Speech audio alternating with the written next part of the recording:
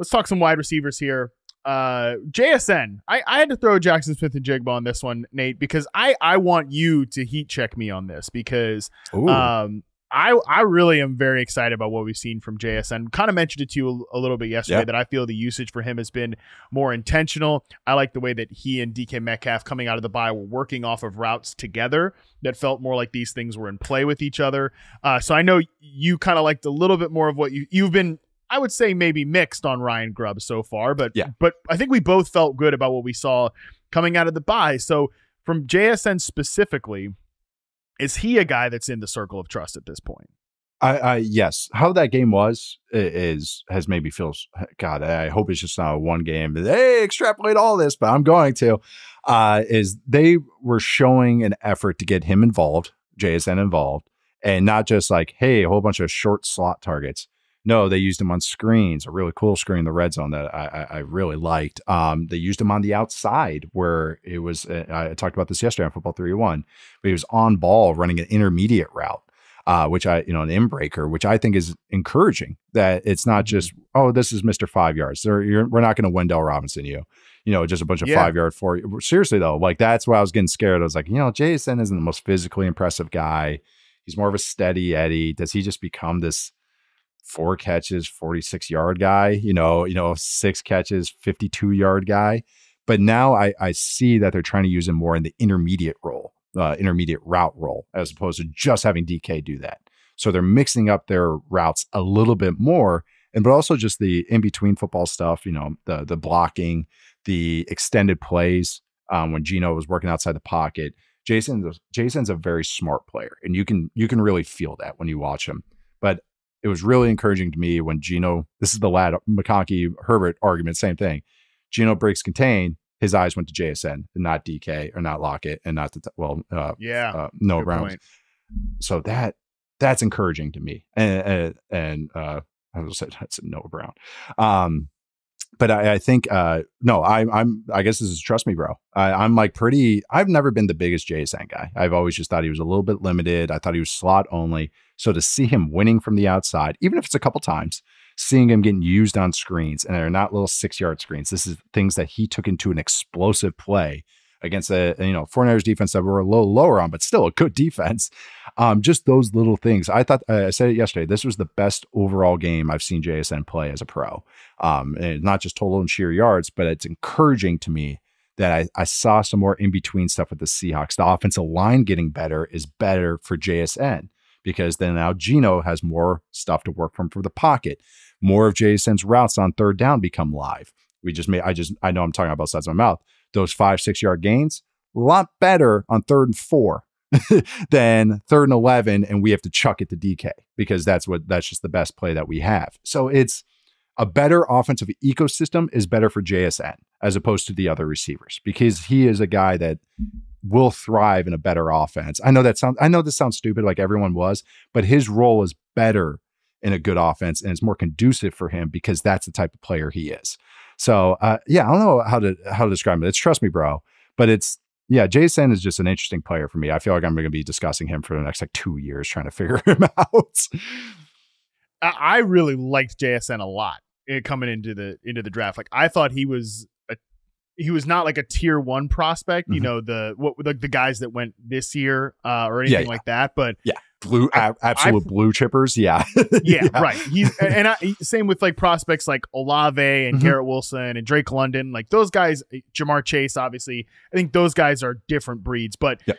that next tier for me, I thought he was the in his class. He was the only guy in that tier. Like he was in a tier of his own in that class. And then it was the Flowerses and the Mm, Addisons and yeah. and the Quentin Johnstons. Obviously, that's a mess. I had Downs in that tier too. So, uh, like that that's sort of the the way I viewed him in his class. Like I thought he was kind of separate from those guys, and he just has never really. He's been fine as I've always said, but he's never really stood out as a pro. Um, the last three games.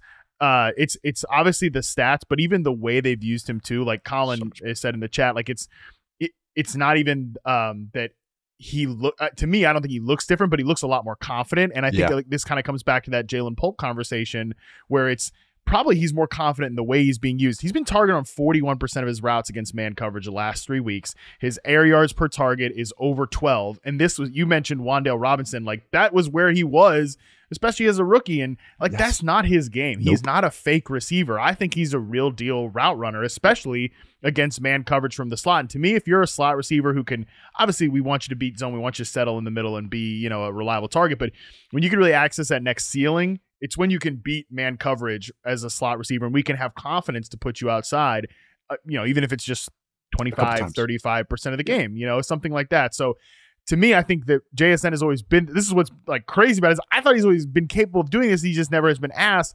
And I know what people say, it's like, oh, well, two of those three games, obviously there's no DK Metcalf. But one, we saw it in this game with DK Metcalf. And two, like, you know this, Nate, the NFL season is long and you're, the Seattle Seahawks coaching staff doesn't come in and think like, we gotta get, we gotta, we gotta solve the JSN puzzle. No. They got a lot of They going got on, okay? So, so got a new center, a right tackle. they got a lot. yeah, their their center plates. retired in the middle of the damn year. All right, they got a lot of going on. Mike Macdonald's rotating linebacker. He's got a whole thing. They're also just trying to put a program together. They're not immediate like, Right. how do we make sure JSN thrives? But sometimes it takes things ha- like chaos A happening. bye like week DK misses, yeah, or. DK misses two games, and we're like. Well, we got to change things up. What if we did this? And then it works and they continue to do it. So sometimes like injuries can create opportunity and can Yep. create change for players. And I I'm I'm almost trying to abstain myself because clearly I'm like biased in this discussion, and so why is why I wanted to ask you because I think you came in you came in a little lower on JSN coming into the league, but uh, that's why I, I kind of think this is an interesting one because I'm I'm glad you're at Trust Me Bro because I almost uh, to be fair I almost want to say like no idea and, and pass on it, but uh, I I do like that you're you're in the Trust Me zone. Yeah, and talked about this plenty of times though. Post bye weeks changes are more indicative of anything else because that's the coaching staff and everybody going like, okay, this is actually what we need to be doing. Um, for I was optimistic about Grubb, and so I'm just I'm still giving the benefit of the doubt and how that performance was on Sunday and what the Seahawks did. I'm like still a little bit. I'm more bullish on them. I was starting to sell a lot of uh personal Mm. stock on that coaching staff. just go, eh, eh, yeah, I don't know about Grubb, yeah, but that game was very, very encouraging and just how they use it and just using it in smart ways. So that that's why I'm like I'm buying this because I think this is very real. And how, I, I know I, I talk about receivers blocking, but him going against Deommodore Lenoir, who I think is a very good player, sprinted at him on a play. I tweeted this, and they just butted head. It's on the backside of a run. Jason could just give an iffy effort on that. I would say whatever if I were coaching. I'm big. Oh yeah, you know, you're not at the point of attack. I get it. Jason brought the heat on it and was like and battled against Lenoir, who was trying to battle against him. And I know it's just one play, and I'm extrapolating from that. That he's competing, and Yeah. that means co- you're confident because you want to do well. And then you're going, if I give effort on this, and you know what happened on the next play? They gave him a jet sweep. Yep. If you don't block, no rock. reward. If Yep. you block, you get the rock, and you could see that confidence build. So yeah, I, I'm I'm I'm I think the arrow's pointing up not only just for him, but really a lot of the Seahawks, and it's pretty cool to see.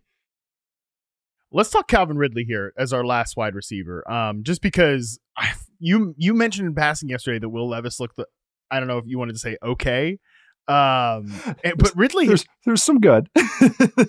well, you know, maybe that was it. It wasn't. It was just like there's actually a couple of positives to take Yeah, away. I have to study it, but But but you know what? Like at the end of the day, all we really need is Will Levis to be a functional NFL quarterback for Calvin Ridley to be useful in fantasy, and he's been beyond useful lately. He's actually been he has been somebody uh, that has smashed in the last few weeks, and he was someone that was completely unusable early in the season. Then they trade DeAndre Hopkins, and again, not it's not even just been okay, decent game since he's since week eight, 143 yards on 15 targets, 73 yards on eight targets, 84 yards, two touchdowns on nine targets, and then uh, 58 yards on six targets this last game. So, but that's that's great. That's your fantasy wide receiver three. That's awesome stuff. So, um, I'll tell you what, I'm at like I'm a pass. I'm still very skeptical, but do you have any more faith than I do? um, well, and then he had a, a, a long touchdown called back. Um, they had an True. illegal formation or something like that. No, I'm. I need to study the Titans a little bit more. It's just so hard when they had Mason Rudolph in there, and I I I, I kind of don't like to study teams when it's just like okay, they have a backup in there. And I know Point- Levis isn't yeah, Levis isn't, you know, some Pro Bowl quarterback or anything, but still the starter or the de facto starter for them. Um, so like watching what they're trying to do, I mean, it's kind of like a, it's going to be the whole offense, just because with Levis is going to be up and down, and up Yeah. the ups are going to be super up, It's going to be more chunk play um, which can lead to some boom games. I, I think so. I don't know what I'm where I feel. I think I'm more I'm just the no idea man because I literally am. Uh, but I do think it's just the who else they have, what they are trying to do with Levis and make his world a little bit easier and everything. Ridley's going to benefit from that. Yeah, but like you said, if he's your receiver two or a receiver three, like you're, I mean, that's not bad because I do think there's going to be some boom weeks uh, still to come. I just think also losing Hopkins cleans up Ridley's role uh, and being able to move him around, move him on ball, off ball, X, Z, all those types of things. Because Hopkins is kind of like in that offense is like, hey, you are here. Everybody yeah. else work around you and orbit like you're the sun. And I, I, think now that like Ridley's role has opened up, so I think the usage isn't going to go away. It's just whether Levis can hit them, whether they can connect, and whether that. Uh, but I do think there's a couple more boom weeks that are possible here, like because this isn't going away. Like they're trying to make this happen. So I, I don't know if that's trust me, bro, or more of a no idea man with, with a with, with maybe a small idea. yeah, I mean, we got two games against the Jags. We've got the Colts. We've got the Bengals. Oh man, this might be a trust like me all the way. uh, yeah, I'm. You've got you've got me to no idea, man. But my initial instinct was like I'm a pass. So okay. we'll see. Um, no let, idea, man. Talk, feels feels good. yeah, that feels about right.